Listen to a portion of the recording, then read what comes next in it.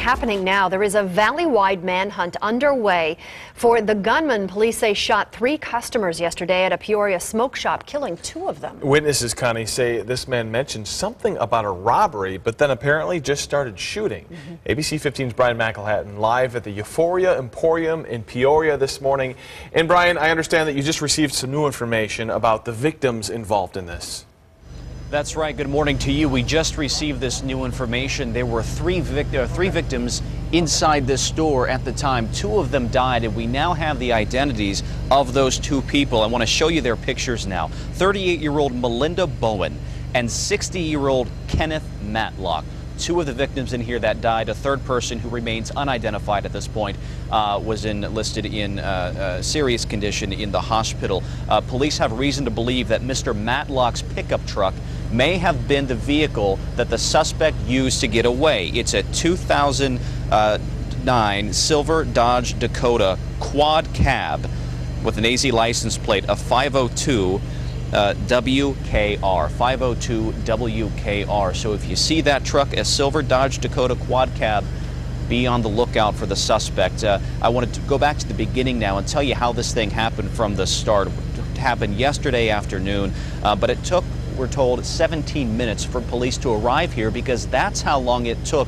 the store owner to call for help. We're told he ran to neighboring restaurants trying to find help, but because he was in such a panic, uh, the store owners didn't let him in because they thought something was, was strange with this man. But finally, he was able to get inside a Burger King, and that's when he was able to call 911. Again, 17 minutes after the suspect shot three people inside the smoke shop. Now, Peoria police originally treated this as a hostage situation, but had they known the suspect had so much time to escape from the crime scene, they say they would have figured out the suspect was probably on the loose and would have ordered the schools in the nearby area to be locked down. Now, we spoke with a couple of regulars at the smoke shop, and they say it's just sad to see. Take a listen. He, he was a cool guy. There's times he's giving me cigarettes. I didn't get paid for a couple days. Hey man, you know, can you front me a pack of cigarettes? Yeah, dude, not a problem. He wouldn't even charge me for them. Take them. You know, you're always here. You're a good customer. So it's really, really sad to, to see. Now that our community has to worry about some gentleman running around who is obviously highly dangerous. Yeah. So.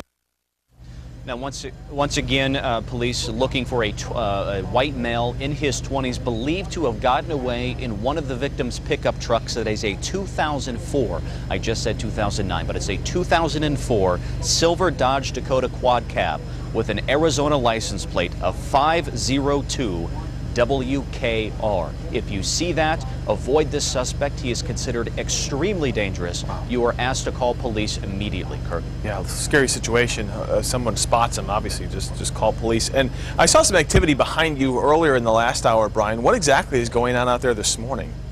Well, there was some. Uh, uh, there was a gentleman here who was repairing the facade of this uh, building, replacing uh, some glass in a doorway over there. This is the smoke shop. In fact, you can see some paper and some blinds that are up in the window, so you can't see inside. But there was some damage to the front of this, uh, either by bullets or by police entering, and so that had to be repaired. That had to be boarded up so people didn't come in, uh, in inside and, and mess around with things. But that has since ceased. The repairs have been made for now, the temporary fixes, and now the focus is back on this investigation investigation and trying to find the suspect. And one difficult thing here, Kirk, uh, there were no security cameras inside the inside the smoke shop, and the security cameras in the parking lot weren't working. So police do not have a picture of this suspect, but they're hoping they can find him through this pickup truck again, a 2004 silver Dodge Dakota. Brian McElhatton live for us in Peoria. He's going to be staying out there throughout the morning. We'll check back in with him, and we'll be following this story throughout the day here on ABC 15 and ABC15.com.